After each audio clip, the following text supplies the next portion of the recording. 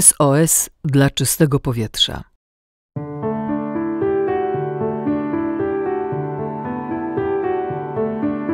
Czy sport to na pewno zdrowie? Uprawiając aktywność fizyczną, podczas gdy normy smogowe są wielokrotnie przekroczone, zwiększasz ilość wdychanego powietrza i zatruwasz swój organizm.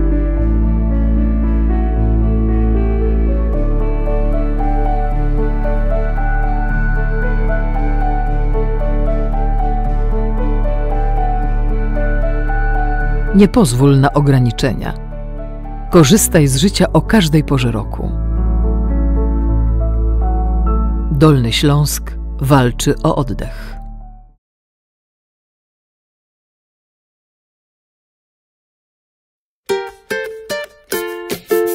Schronisko dla bezdomnych zwierząt w Przylasku. Prosimy o wsparcie. Wasza pomoc jest ogromna. Numer konta 851090 1955 0000 0001 3601 9130. Telefon do schroniska 511 984 512. E-mail schronisko małpa e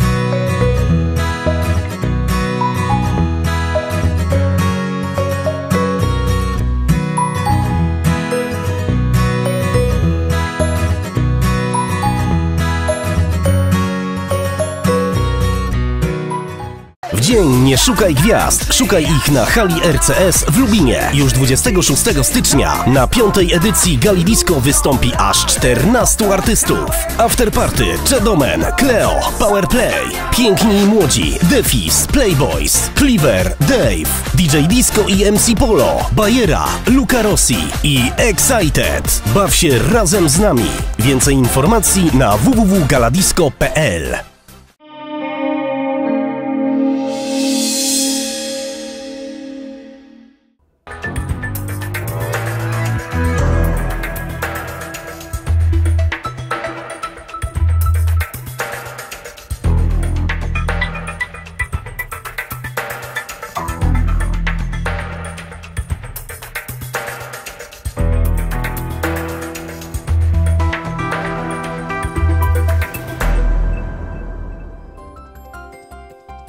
Zima nie odpuszcza.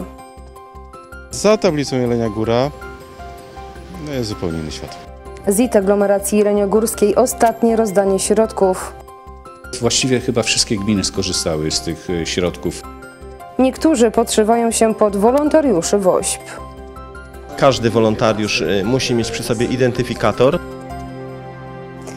Dzień dobry Państwu, jest 10 stycznia, czwartek. Kamila Krawiecka-Bryl, rozpoczynamy serwis informacyjny. Jeleniogórska Policja apeluje o zachowanie szczególnej ostrożności na drodze, a goprowcy w górach warunki są ekstremalnie trudne. Kolej linowa w Karpaczu jest skuta lodem, a przejście graniczne Harachów-Jakuszyce zamknięte dla pojazdów powyżej 3,5 tony, a śniegu cały czas przybywa. Tak wygląda droga prowadząca do Dziwiszowa. Kierowcy narzekają na trudne warunki nie tylko tam. Drogi są śliskie i oblodzone w wielu miejscach. Ja jeżdżę bardzo często na Karpacz i Kowary, więc za tablicą Jelenia Góra no jest zupełnie inny świat. Inny świat to znaczy? To znaczy czasem się zastanawiam, czy tam za chwilę jakieś niedźwiedzie polarne nie wybiegną. Lodowisko szybciej na- doszłoby dojechać na, na, na łyżwach niż samochodem. Skąd Pani przyjechała? Z Wojcieszyc. Jak ta droga w Wojcieszyce? Bardzo źle. W ogóle nie ma, kochana, przejazd, przejazdu. W ogóle nie ma przejazdu. To jak dojechaliście do Jeleni? No pomału, pomału, tak już żeśmy pojechali 20-50, tak się jechało. Ale drogi nie są w ogóle odświeżone? Na górze, nie, u nas nie, w Wojcieszycach nie. W niektórych miejscach to jest tak lód, że no, żadna opona jednak też nie pomoże. No ale jakoś tam w miarę sobie radzimy. A jak wiele sił i środków zaangażowanych jest w odśnieżanie Jeleniej Góry? Przy odśnieżaniu Jeleni Góry pracuje ponad 50 osób, 9 samochodów, oprócz tego kilka ciągników. Y, Są osoby, które y, odśnieżają również ręcznie, pracują w nocy od 4, 5. To są y, osoby, które zajmują się odśnieżaniem przejść dla pieszych. Poradzili sobie drogowcy. Czyli w Jeleniej Górze jest ok. Tak, przyjechałem przed chwilą z Lubania, jest wszystko w porządku.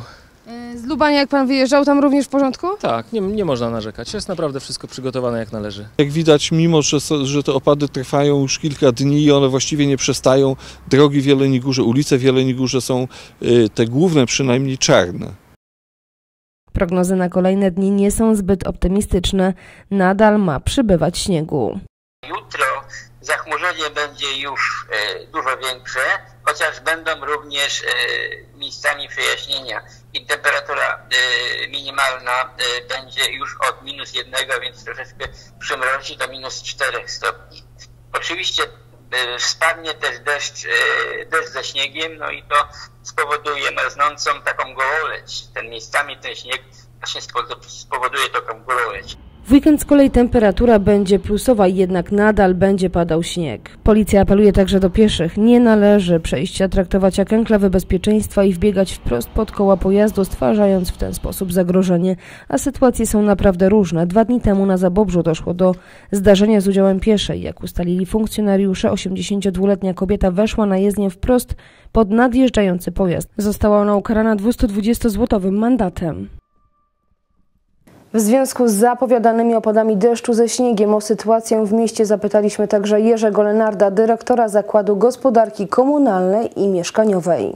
Obowiązkiem każdego właściciela nieruchomości lub jego administratora jest utrzymanie czystości i porządku w budynku i w jego obrębie. Ten drugi przypadek w okresie zimowym odnosi się przede wszystkim do odśnieżania chodników oraz wejść do klatek schodowych.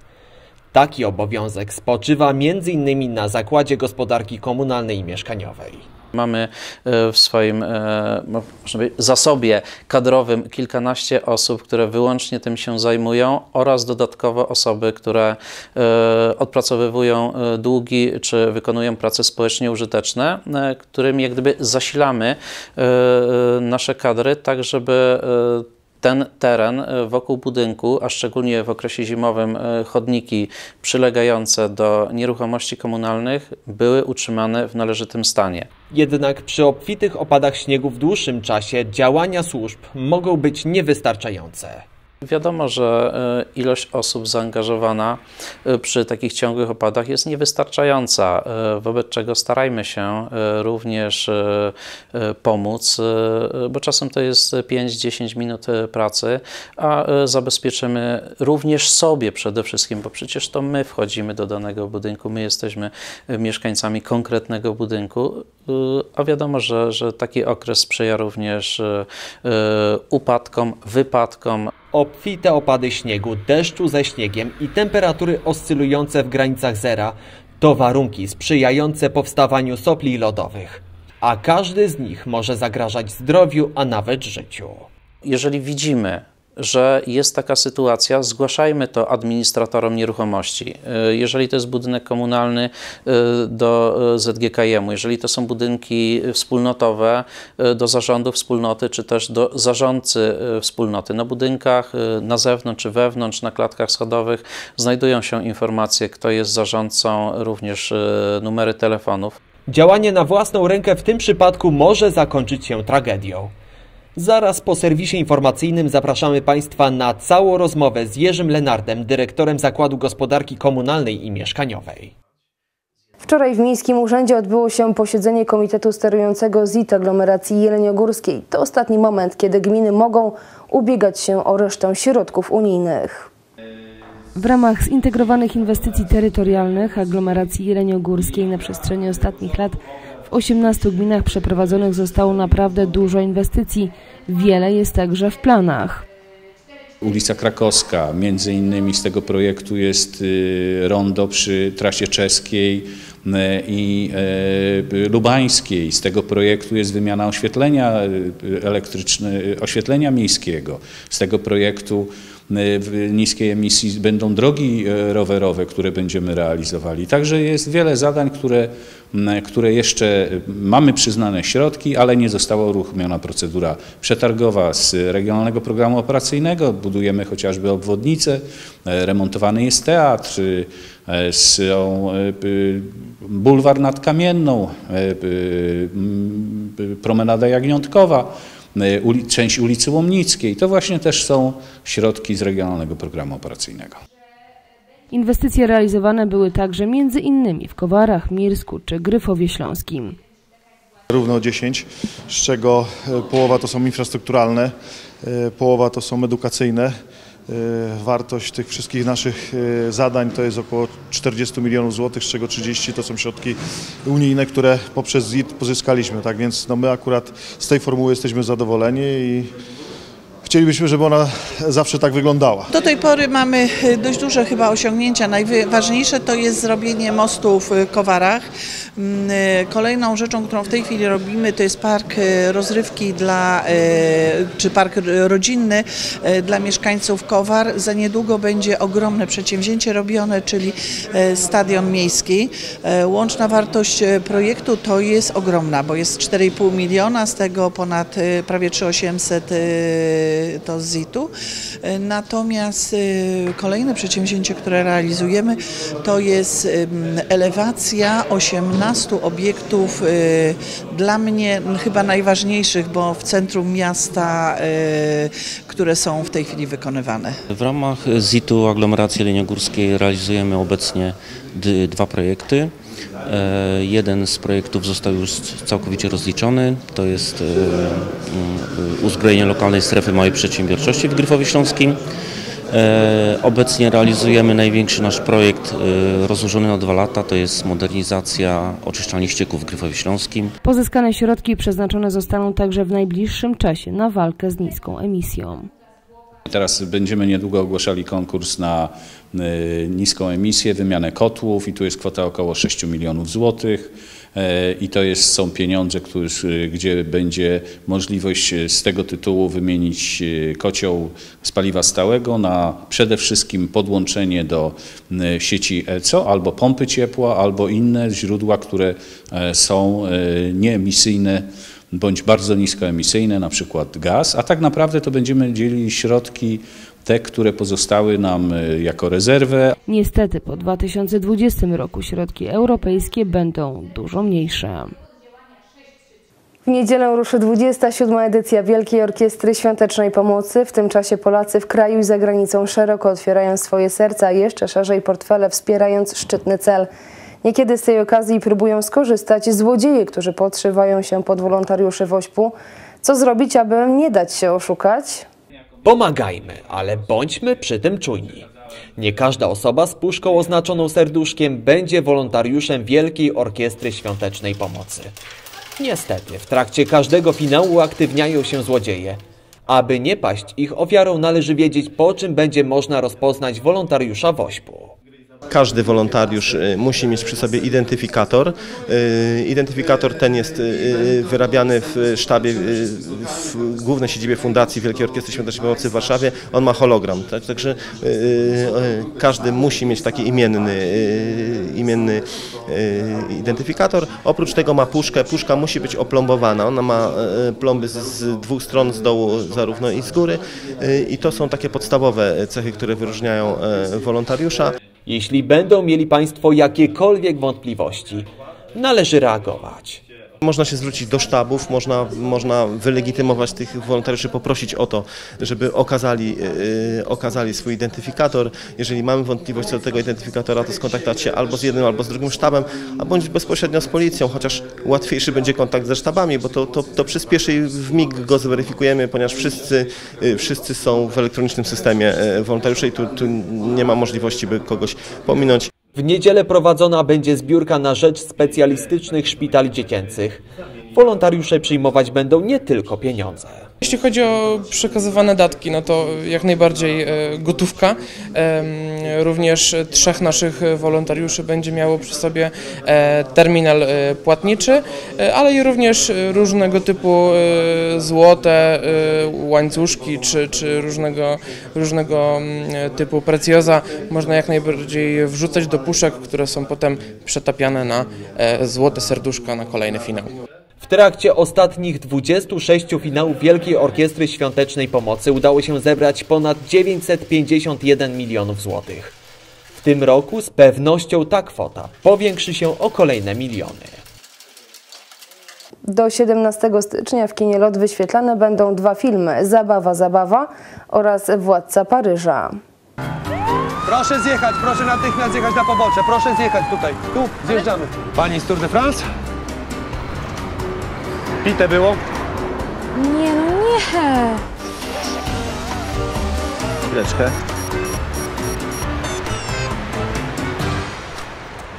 Wziąć paluszki.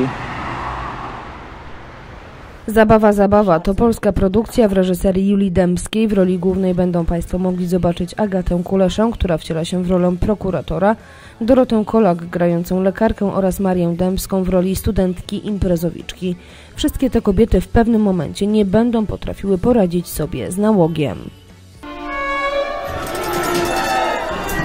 C'est qui lui L'évadé perpétuel. Widok, monsieur.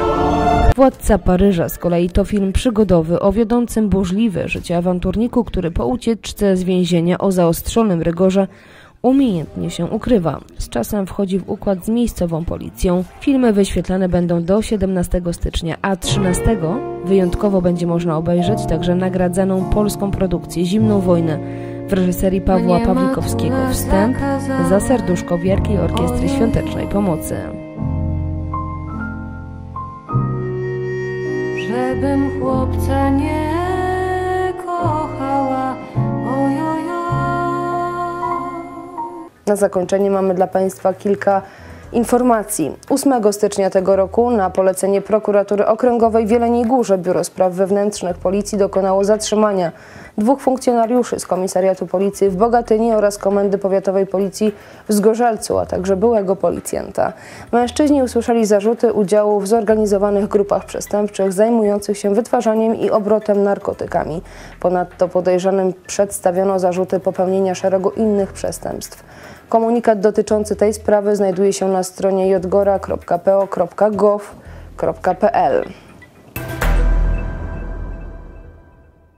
Muzeum Karkonoskie zaprasza na spotkanie autorskie i promocję książki Ryszarda Zająca Rzeźba, poezja, muzyka. Odbędzie się ono 11 stycznia, start godzina 16. Gmina Mirski MKS 3KF Włókniarz Mirsk zapraszają na siódmy noworoczny turniej futsalu Izery Cup. Zawody odbędą się w hali sportowej w Mirsko już w najbliższą niedzielę. Start o godzinie 10. Zachęcamy do kibicowania, ja żegnam się z Państwem życząc udanego popołudnia. Do zobaczenia.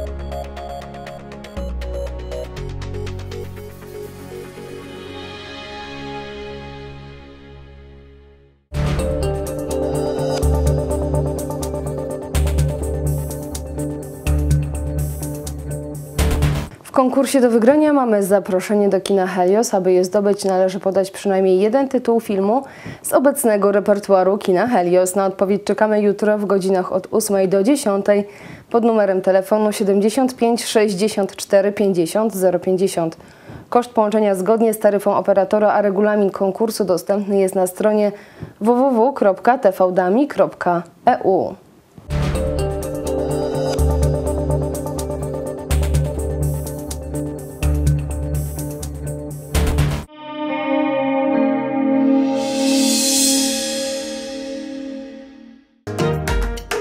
Na rachunki, na lokal pod własny biznes, na rozwój firmy. Potrzeb jest wiele, ale skąd wziąć pieniądze? Karkonoska Agencja Rozwoju Regionalnego oferuje pożyczki dla mikro, małych i średnich przedsiębiorstw na wyjątkowo atrakcyjnych warunkach. Oprocentowanie już od 2,85%, bez dodatkowych opłat i prowizji. Środki możesz wykorzystać na cele obrotowe lub inwestycyjne związane z bieżącą działalnością firmy, np. zakup środków trwałych, surowców i materiałów czy modernizację przedsiębiorstwa.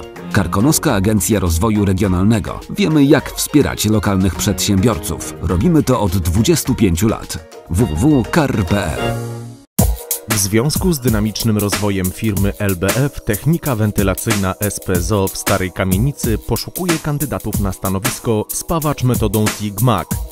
Główne zadania: spawanie elementów wentylacyjnych i konstrukcyjnych ze stali węglowej, ocynkowanej, kwasoodpornej i nierdzewnej, wykonywanie poleceń kierownika do spraw produkcji i realizacja powierzonych projektów w zakresie spawania. Oczekiwania od kandydatów: wykształcenie zawodowe lub techniczne, doświadczenie w pracy na stanowisku spawacza, znajomość rysunku technicznego, znajomość branży metalowej, podstawowa wiedza w zakresie metod spawania i obróbki blachy, gotowość do pracy w systemie zmianowym, gotowość do wyjazdów służbowych również za granicą. Oferujemy atrakcyjne i motywacyjne warunki zatrudnienia, umowa o pracę i premia, pracę w międzynarodowej firmie ukierunkowanej na stały rozwój, przyjazną atmosferę pracy, możliwość szybkiego rozwoju zawodowego i podnoszenia kwalifikacji, szkolenia i kursy podnoszące kwalifikacje, fundusz socjalny, ubezpieczenie grupowe i zdrowotne. Aplikacje zawierające CV i list motywacyjny prosimy przesyłać na e-mail adam.telega.lbf.com.pl lub pod numerem telefonu 75 752 83 66. Wysyłając dokumenty, prosimy o załączenie klauzuli dotyczącej zgody na przetwarzanie danych osobowych dostępnej na naszej stronie www.lbf.com.pl.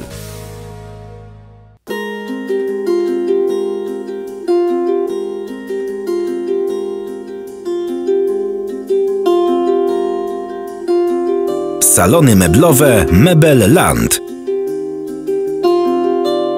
Z nami urządzisz całe mieszkanie. Posiadamy meble z litego drewna, z MDF-u, jak i z płyty laminowanej.